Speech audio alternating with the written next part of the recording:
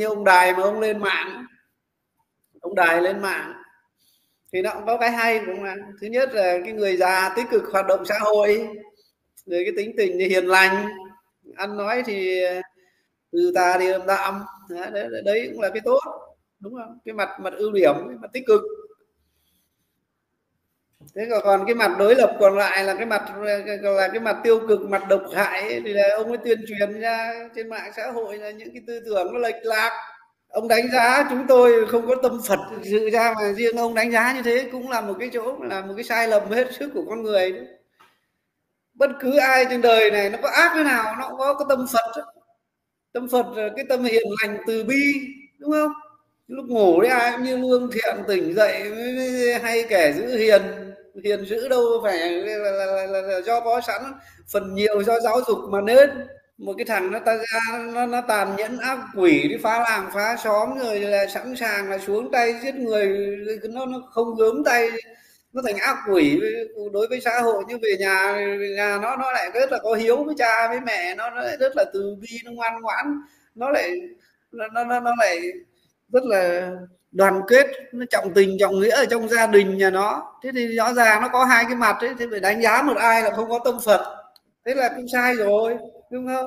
Ít nhiều trong con người ta cũng có một tí cái tâm phật rồi tâm từ bi. Trong con người nào cũng có, cái là ít thì nhiều.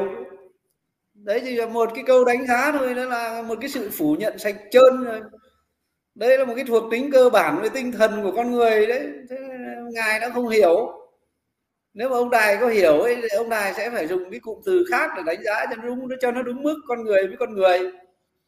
Đúng không? Cái thứ hai là ông tôi đã bảo là tôi lên mạng xã hội tôi chưa, chưa, chưa bao giờ định vị. Tôi là một thầy giáo nhưng mà ông cứ lấy cái nghề nghiệp của tôi ra rồi ông mạt sát ông lăng mạ thì ông sẽ nhìn ngược lại mình xem. Với một cái phong nền văn hóa và một cái vốn học vấn lôm côm nhôm nhoam của ông ấy thì ông dạy học sinh như thế nào các thế hệ của học sinh của ông ấy vì sau là cái gì? Người ta sẽ trưởng thành, người ta sẽ nhận ra rằng à rồi vào một cái thời kỳ nó khó khăn, nó thiếu thốn, nó khó khăn quá, có cái con người đi làm việc là tốt lắm rồi. Cho nên là cái tình trạng mà các thầy là chữ tác đánh chữ tổ nó cũng đúng thôi. Không ai người ta nói ra. Nhìn lại cái quá trình từ ngày xưa ấy, từ ngày xưa thì tôi có tôi có động chạm gì đến nhà ông đài? Từ ngày xưa ngày xưa tôi chả động chạm gì đến ông đài cả. Ông lên, ông cứ thế mà ông ấy mở like hết like này, video này, video khác. Ông lôi cổ người ta ra, ông nói, tôi mới bực lên, tôi tẩn cho mấy cái video. Thế là thù thù chứ bây giờ ông có hiền lành, ông có tỏ ra hiền lành, đạo đức gì thì ông vẫn cái gì? Cái sân và cái chi của ông ấy. Cái sân chi, tức là cái gì? Cái nỗi hận, thù, giận dữ. Cái chi của ông ấy. Chi nó là cái ngu chi cái dốt nát là tức là người ta trong ngôn ngữ nhà Phật ấy, hai cái khía cạnh này người ta gọi là sân và si ông dày lắm. Dày cho đến nỗi là muốn cái gì cưỡng từ đoạt lý nhưng mà lại không đủ trình độ.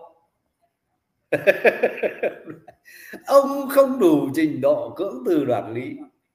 Thích hám với nho nhiều lắm thì tôi dùng cho từ cho ông đúng từ đúng nghĩa từ phu tử đấy cho nó oai phu tử văn đài, kinh quá. Ông ấy giải thích về phật, như lại quay ra là con vua, rồi lại các các kiểu. Rồi thái tử tất đạt đa. Tôi nói cho ông biết này, nếu mà ông có là cái con người học, ông là con người có học tử tế đàng hoàng ấy, thì ai không ai nó bảo thật.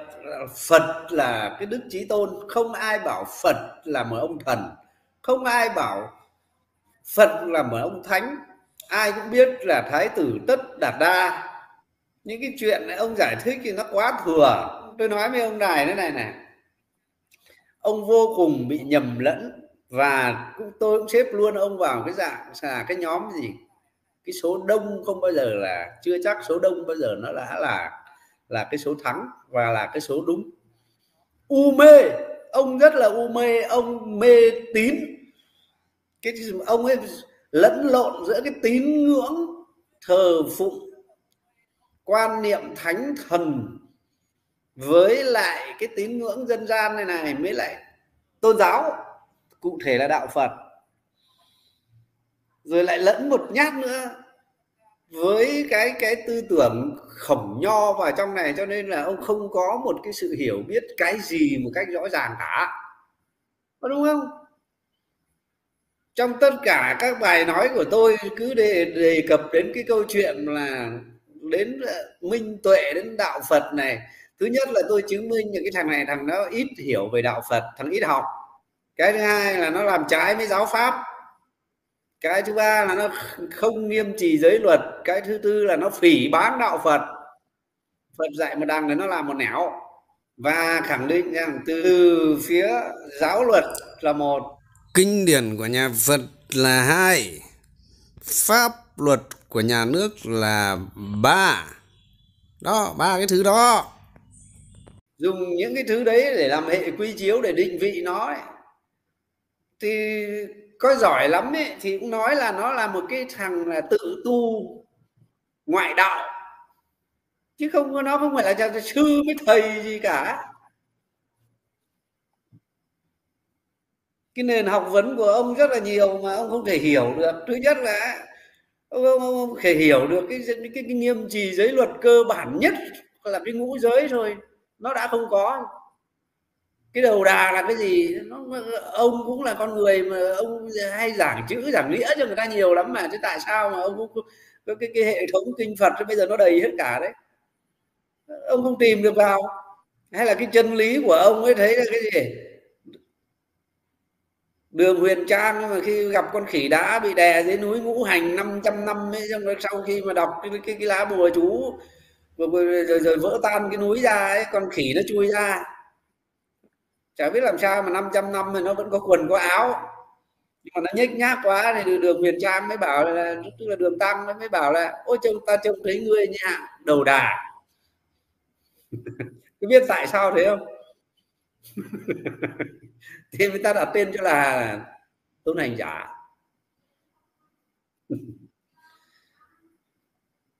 Khuyên ông thật, khuyên ông thật, cái gì có hiểu biết thì hắn nói không có hiểu biết thì đừng có nói ra làm cái gì, người ta cười cho. Phương tây nó cái câu, có cái câu, thà không nói cái gì ra mồm để cho thiên hạ nghi ngờ là mình ngu thôi. Khi mà mình nói ra mồm rồi, thiên hạ không còn nghi ngờ gì nữa. Cái thứ hai, nhìn vào cách hành xử của cơ quan chức năng khi người ta đã có cái biện pháp giáo dục ngăn chặn. Thứ nhất là những cái công văn của ban tôn giáo chính phủ, công văn của giáo hội phật giáo việt nam và báo từ cái cái, rồi những cái bài báo có sức nặng nữa chứ từ công an, tỉnh gia lai, báo công thương, báo nhân dân người ta đưa ra ấy, có mù cũng nhìn thấy mờ mờ là ở đây là nhà nước đã có những cái biện pháp giải quyết hết sức khéo léo và người ta làm gì dùng cái biện pháp mềm để ngăn chặn lại cái hiện tượng là chúng nó làm sao từ trong nước và ngoài nước bắt tay nhau để đánh phá vào Phật giáo, từ đó quấy rối an ninh xã hội mù phải nhìn thấy mờ mờ chứ. Có ăn có học và đọc và nhiều thì cũng phải biết là thế nào cái cách làm việc và cái thái độ của cơ quan chức năng trước cái hiện tượng này là thế nào và người ta định vị nó như thế nào. Đây có phải đâu có phải cái sự ồn ào xã hội bình thường. Đúng không? Văn đài phu tử đấy, đấy là nói cho ông về cái mặt nhận thức chung. Thế còn câu chữ ấy thì ông đừng có mà chơi câu chữ với tôi làm cái gì cho phiền ra. Thế ông chờ đợi nhá. Ông cứ giỏng cái tai lên chờ đợi. Cái video sau ông cố gắng mà giỏng cái tai lên. Ngồi cùng con cùng cháu ấy, để tôi nói cái chữ nghĩa cho ông nghe. Thôi nhận thức chung thế đã nhá, ông đà nhá.